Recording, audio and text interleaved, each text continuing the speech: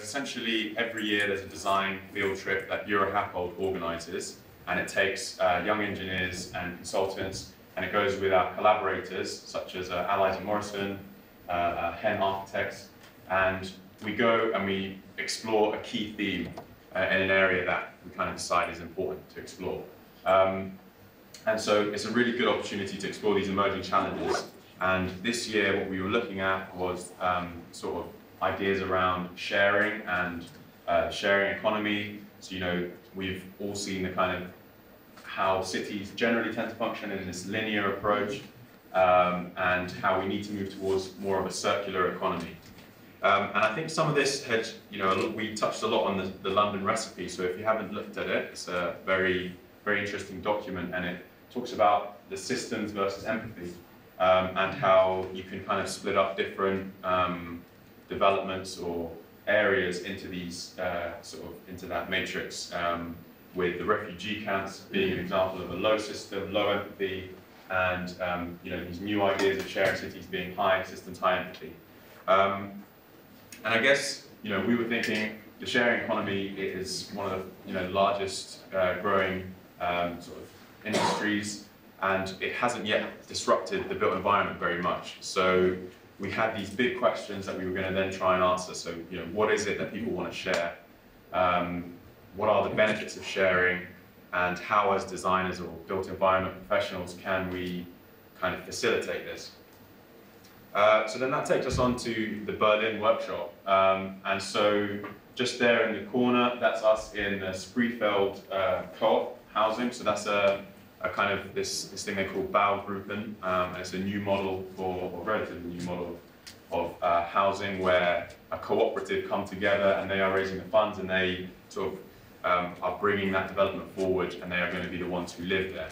Um, and you know that's actually us in that space. It's a very nice space. Uh, they hosted us there, uh, and we started to workshop and look at you know the questions that I've already said. What do we want to share? What don't we want to share?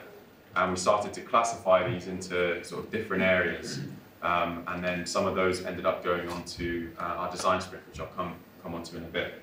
So um, yeah, we went around uh, different areas of Berlin, um, and I'll come on to the touring, that picture of the bench there um, a bit later, but that's in Tempelhofer and Tempelhofer Field. Um, and you know, there was this discussion that we were having about some people didn't like the bench, some people did like the bench, and at first it doesn't seem important, but you know it's a very big field and it's fairly fairly empty, and the community have taken almost control of it.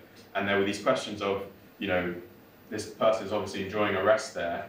Should there be toilets as well? Maybe, you know, then people start to talk about a cafe, and then people start to talk about, oh no, now our independence is going and they're taking control of it.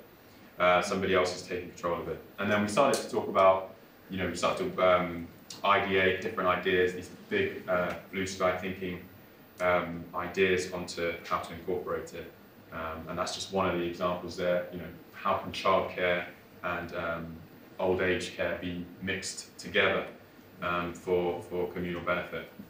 Um, and then Allies and Morrison hosted the follow-up workshop in London, and we just started to kind of bring it down from a blue sky thinking level to a master plan sort of scale.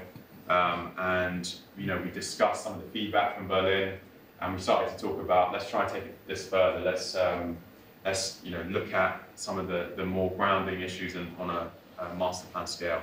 And they took us uh, through their ideas on different types. So um, we, we looked at the curated master plan, which is King's Cross, and how uh, you know, a big area of central London has, has, has, um, has changed in a relatively short amount of time.